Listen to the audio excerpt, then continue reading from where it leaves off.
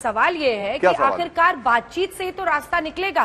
क्या राकेश टिकैत जो शर्त रख रहे हैं कि तीनों कानून की वापसी के बिना बात नहीं होगी एमएसपी गारंटी कानून बने इस पर आप लोग आगे बढ़कर बातचीत करने को तैयार हैं? मैं तो आप ही से सवाल कर रही हूँ सर।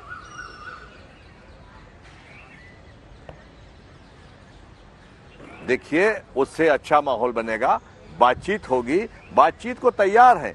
परंतु सरकार तो एमएसपी के गारंटी के कानून पर हमारे बारह राउंड में चर्चा करने को तैयार नहीं अमित शाह जी से चर्चा हुई। अमित शाह जी ने कहा कि सोलह हज़ार करोड़ का, सोलह लाख करोड़ का हम पर अतिरिक्त बाहर आएगा। हमने कहा बाहर नहीं आएगा, क्योंकि जो हमसे आप परचेज करेंगे, वो आप बेचेंगे। तो उन्होंने कहा, इसमें संशोधन क्या चाहते हैं, वो करा लें अपन। तो मैंने कहा, भाई साहब, संशोधन। की रास्ता निकल चुका है। अगर ये कानून लाने के पहले हम किसानों को देश के विश्वास में लिया होता तो ये दिक्कत नहीं आती। अब वो रास्ता निकल चुका है। तो उन्होंने बड़े मन से कहा कि हमसे गलती हुई है कि हमने किसानों को कॉन्फिडेंस में नहीं लिया है। पर अब मिल बैठ के इसका रास्ता निकाल सकते हैं। तो मैंने कहा सोलह लाख करोड़ का आपका खर्चा बता रहे हैं आप एमएसपी पे गारंटी पे। इधर ये भी कानून रद्द नहीं करेंगे तो वार्ता कैसे आगे बढ़ेगी? तो वार्ता के लिए माहौल बनाना है। तो आप पहले एमएसपी पे आ जाए हम। और एमएसपी पर चर्चा कर लें। तीनों काले कानून पर भी चर्चा हो जाएगी। तो उस पर उसके बाद संवाद समाप्त हो गया। 22 जनवरी की आखिरी चर्चा हमारी है। 22 के बाद में आज तक कोई चर्चा हुई नहीं है। ये जो बम्फर फ़सल पैदा करने की बात कर रहे हैं आप लोग, बम्फर फ़सल इन कानूनों के कारण पैदा नहीं हो रही। खेती में मोदी जी के कार्यकाल में सबसे ज़्यादा लागत बढ़ी है।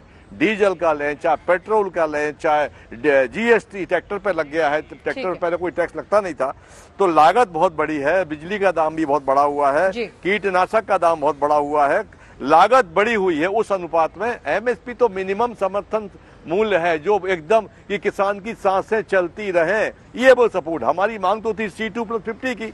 तो सी टू प्लस फिफ्टी तो आप दे नहीं रहे हो। हम तो केवल सपोर्ट प्राइस पर प्रार्थना कर रहे हैं कि श्रीमान जी हमको सपोर्ट प्राइस तो दे दो ताकि हम ज़िंदा इस देश में रह सके। ठीक है। ये आप- हमारी आपकी बात हाँ, दर्शकों तक भी पहुँची और आपकी बात सरकार के भी नुमाइंदे तमाम सुन रहे होंगे। जी शर्मा जी वक्त की जरा सी कमी है जल्दी से भगवंत मान जी से एक रिएक्शन लेते हैं। आपने अपनी बात स्पष्टता से पूरी कही है और मुझे लगता है सभी तक ये बात पहुँची है। मान साहब पंजाब में चुनाव है इसीलिए भगवंत मान एकदम एक्शन में है अब जी अंजना जी मैं ये कहना चाहता हूँ मैं ये कह चुनाव चुनाव बाद में है।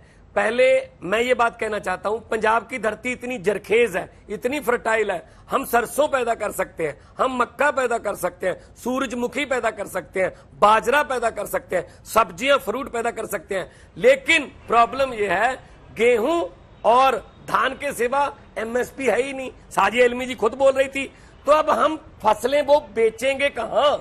बाईस फ़सलों पर एमएसपी डिक्लेयर कर देते हैं।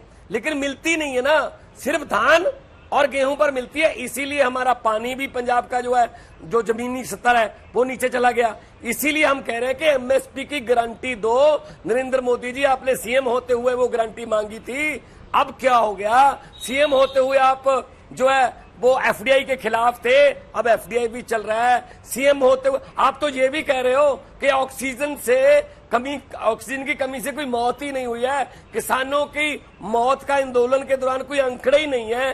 भारतीय जनता पार्टी जी भारतीय जुमला पार्टी मत बनो किसानों के साथ बात करो आपके पास आ गए हैं। उन्होंने सर्दी भी झेल ली दो डिग्री सेल्सियस। उन्होंने गर्मी भी झेल ली 48 डिग्री सेल्सियस। उन्होंने आंधियाँ तूफ़ान बारिश झेल ली।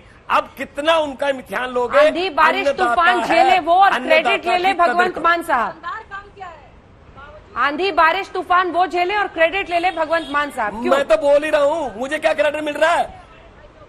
चुनावों के वक्त चुनावों के वक्त सुनाइएगा कैसे? आई एम इलेक्टेड रिप्रेजेंटेटिव मेरा फ़र्ज़ बनता है। मेरा फ़र्ज़ बनता है।